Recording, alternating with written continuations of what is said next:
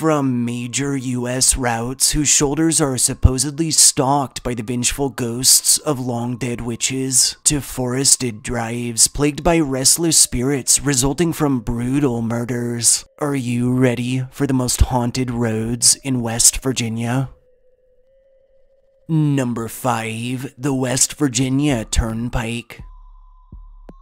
Officially Interstate 77, the West Virginia Turnpike is a toll road and major north-south highway stretching 187 miles between Bluefield at the Virginia state line and Williamstown at the Ohio state line. Historically, construction of the turnpike was started in 1952, lasted for two years, and cost the lives of five workers. The pike was opened as a two-lane route, recognized for its treacherous curves and memorial tunnel, and by the 1960s, in the heat of its popularity and utilization, it earned an ominous reputation for being an utter death trap. By just 1975, the new route had claimed a total of 278 lives, with 28 noted fatalities in 1979 alone. In 1976, work was started to widen the turnpike to four lanes, and in 1987, the strip was elevated to interstate status, with the new line bypassing and eliminating the Memorial Tunnel entirely.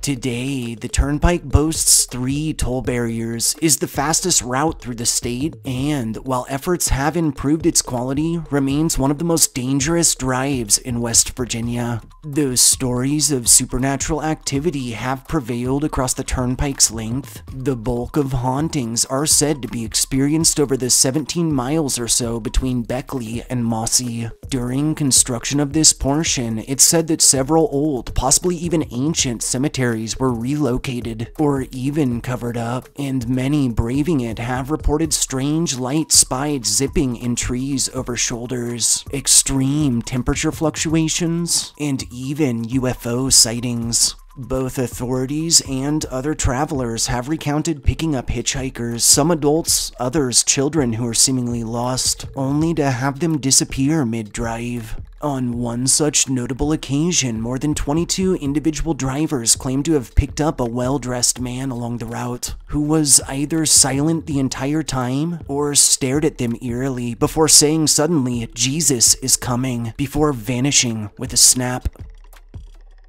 Number 4, 22 Mine Road. Located just to the southwest of Holden, about 7 miles from Logan, off of US Route 119 lies 22 Mine Road, a dark drive infamous for a brutal murder that transpired there long ago. Historically, managers of the US Coal and Oil Company, William H. Coolidge and Albert F. Holden, would visit the area in 1902 and would purchase local land for the purpose of expanding their operation. Coal mines were quickly established, with houses, various businesses, and a railroad following closely after, and by 1904 their company was producing. The town of Holden, named after Albert, was constructed as a model coal town, and eventually U.S. Coal and Oil would alter its title to Island Creek Coal Company, with Albert acting as their first president. In 1969, Island Creek was sold to the Occidental Petroleum Company, who would, in turn, sell shares to a new firm which decided to relocate headquarters, leaving most of the old township to the West Virginia Department of Highways in order to make room for Route 119. Today, the region boasts a population of around 700, with an economy that remains based in mining. The forested, mountainous expanse of 22 Mine Road is steeped in various local legends, with those braving it describing wisps of smoke that float with seeming sentience, ominous spectral black dogs, and extreme cold spots. The most popular legend revolving around 22 Mine tells that on June 22nd of 1932, the body of 32-year-old Mamie Thurmond was discovered behind a blackberry bush, her throat slit, and two bullets in her head. Mamie's full bodied apparition has been encountered along the road's length, sometimes in a deranged state and with gruesome wounds, while at others, hitchhiking, only to vanish shortly after being picked up. Lastly, some tell that if you pull off to the side of 22 Mine and throw your vehicle in neutral, that Mamie will push it uphill. Chillingly, after confirming said phenomena, many have noted handprints on the exterior of their windows. Number 3. West Run Road West Run Road is a densely forested rural route cutting to the north and along the outskirts of the city of Morgantown, a region that historically was highly contested and that harbored a number of skirmishes between native tribes, settlers, British, French, and other nations. In 1767, one Colonel Zackquill Morgan, along with his brother David, would arrive to the area while seeking the perfect place to settle. And by 1772, he would establish a homestead near present-day Fayette Street and University Avenue. In 1783, the colonel would receive papers for 400 acres locally, with just 50 appropriated for Morgan's Town just two years later in 1785. And on February 3rd of 1838, under the Virginia Grand Assembly, the city was finally officially incorporated as Morgantown, Virginia. In 1863, amidst the Civil War, Morgantown would be absorbed into the newly formed state of West Virginia, after which it would evolve into the city we know today.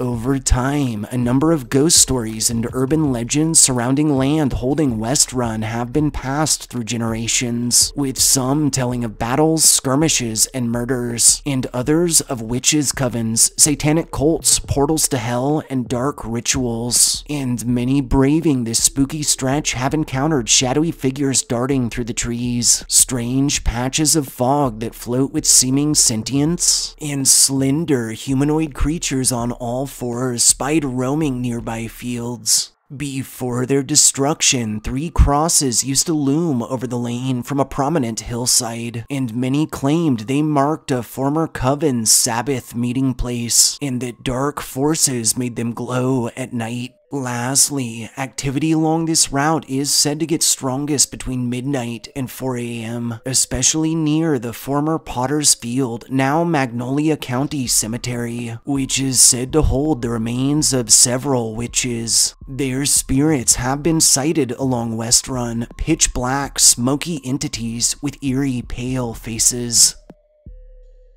Number 2. US Route 50 US Route 50, cutting from West Virginia's eastern to western borders and connecting Ohio to Virginia, is a lengthy stretch that's become infamous for its many purported paranormal infestations, the bulk of which are said to lie right near the town of Salem. Historically, Salem was settled by a group of Seventh day Baptist families through the summer of 1790 as New Salem, in 1794, it was officially chartered as the first Seventh day Baptist settlement west of the Allegheny Mountains, and in 1863, West Virginia separated from Virginia, after which, in 1884, the town was renamed as simply Salem. Salem College would be founded in 1888. On the 25th of February in 1905, it was finally incorporated, and by 1925, US Route 50 had been laid along the community's border. Over the years, the section of US Route 50 bordering Salem has been surrounded in a wealth of scary stories and local fables, with those traveling its expanse reporting ghostly mining lanterns off to the sides of the road, strange growling heard from trees and bushes, and extreme temperature fluctuations. Brandy Gap Tunnel number 2, just off of the route and east of town, is said to be haunted by the spirits of railroad workers long deceased, as well as something much larger and more hostile, and several motorists have recounted pulling over for hitchhikers that they described as seeming off, like something not real, twisted, in human skin. Lastly, the most famous legend surrounding Route 50 tells of a ghostly woman in a red coat who wanders the shoulders on foggy nights with her hood pulled taut. All who have stopped for this hitcher have been met in utter shock and terror as upon her approach, they realize she's missing her face.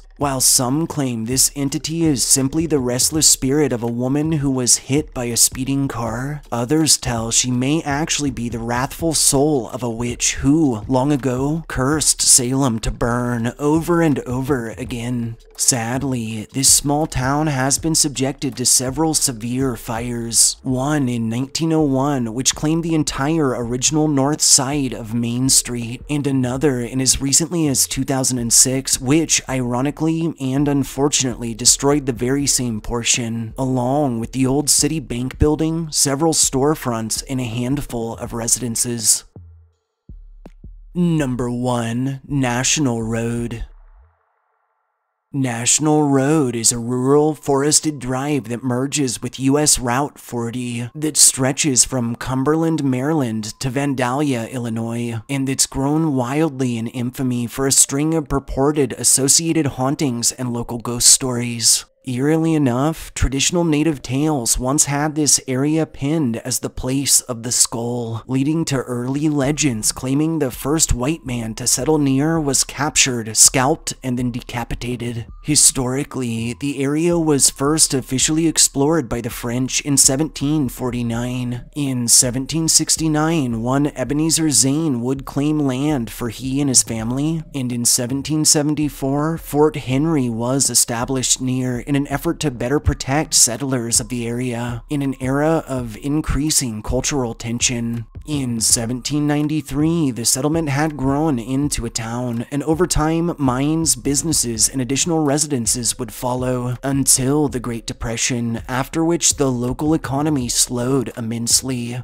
Into the present, Valley Grove has retained its small town feel, boasting a meager population of just 400 residents. And over the years, a number of local legends surrounding hauntings along National Road have surfaced, with motorists, bikers, and walkers reporting disembodied gunshots, voices, cannon fire, and even Mothman sightings. Roney's Point is said to be more active site along the route, with fables claiming it was once an insane asylum or a tuberculosis center where torturous experiments were held, and those who have braved it have reported encountering the full-bodied apparitions of doctors, nurses, patients, and orderlies wandering about, with several informal investigations yielding orbs in photographs, chilling EVPs, and exceedingly high EMF levels. Some stories tell of satanic rituals held along Old 40 and of resulting shadowy figures, cryptid sightings, and silhouettes that are downright demonic in nature. Others of close scrapes with the dreaded Wendigo. And one tale tells of a commonly experienced phenomena in which motorists hear a tapping on the exterior of their vehicles. This story furthers to warn that if one experiences this tapping, that they should keep their windows up and doors locked until they reach their destination.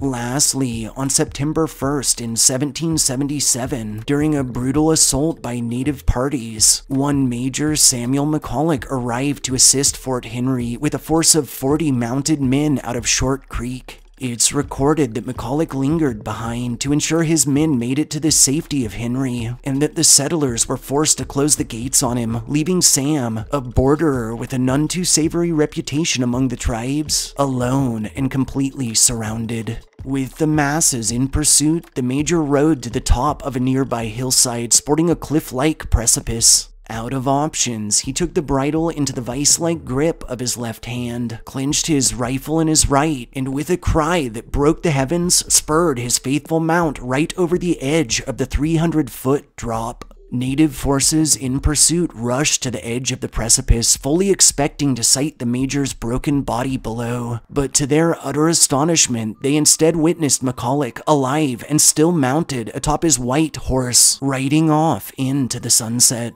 The ghostly form of Major Samuel McCulloch has been sighted to this day and has been encountered traveling the area at unnatural speeds, atop a gleaming spectral stallion that's been known to gallop right off into the skies. Taking into consideration its fascinating, dark, and absolutely astonishing history, and coupling it with a slew of ghost stories and urban legends larger than Spruce Mountain, we felt National was the perfect choice as the most haunted road in West Virginia. Thanks for tuning in for our list of some of the most haunted roads in West Virginia. If you enjoyed hearing our histories and ghost stories, don't forget to subscribe to our channel and turn notifications on. Throw us a like, and most importantly, share us with anyone you feel deserves a good scare. We'll catch you all next time.